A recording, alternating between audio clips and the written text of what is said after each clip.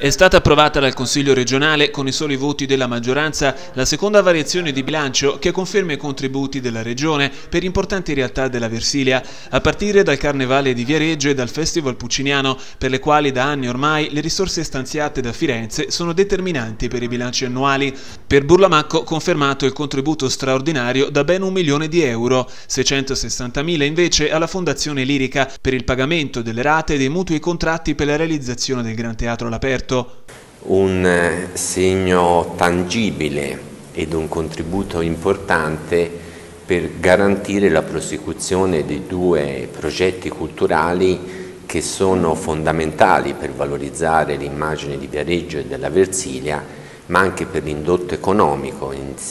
che comportano e che diffondono sul territorio. Contrario il voto di Forza Italia e della Lega, secondo il capogruppo azzurro Maurizio Marchetti, visto che sono fondi erogati con ciclicità, meglio sarebbe renderli strutturali e inserirli direttamente in bilancio, così che su quelle risorse la governance di questi organismi possa fare programmazione. Dalla Regione in arrivo anche un milione di euro per lo sviluppo del porto turistico della Madonnina, risorse destinate alla nuova società che insieme alla municipalizzata Iker avrà il compito di gestire e rilanciare il porto turistico di Viareggio. L'operazione, destinata a partire ormai ad anno nuovo, vede i forti dubbi della Lega, come spiega la capogruppo Elisa Montemagni, alla luce della difficile situazione finanziaria della municipalizzata Iker. A completare il quadro dei finanziamenti regionali ci sono i 135 mila euro al comune di Stazzema per una serie di manifestazioni sui valori della resistenza e dell'antifascismo e la conferma, già annunciata, degli 80 mila euro di contributo